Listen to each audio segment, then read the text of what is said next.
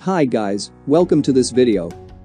In this video, I'm going to show you how to fix TPM 2.0 and upgrade from Windows 10 to Windows 11. Even if our system does not have TPM chip, we can still install Windows 11. Let's get started. First of all, we need to download these files, I have given both links in the description below.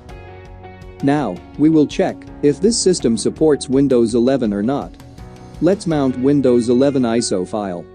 Right-click on it and click on Mount. Here, run the setup. Click Next. Now, it is going to check for updates and PC's hardware. It says, this PC cannot run Windows 11 because this PC does not have TPM chip. Close this. And let's fix this. So what we have to do is simple. First, copy all these files and paste them to a different location. Like this. I have already copied it. After that, open fixed TPM folder and copy this file. Then, go to Windows 11 files location, where we copied previous files. Here, open sources folder and paste. It says, this file is already here. Simply click on replace the file.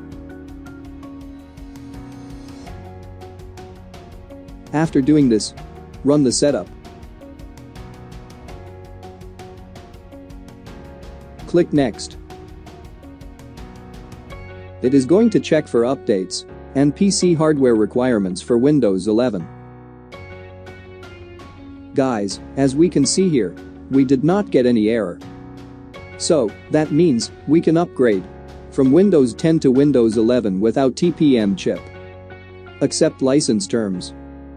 Now, it is going to prepare for Windows Update. Thank you guys for watching our video. Give us a like if you like it and don't forget to subscribe to our channel for new videos.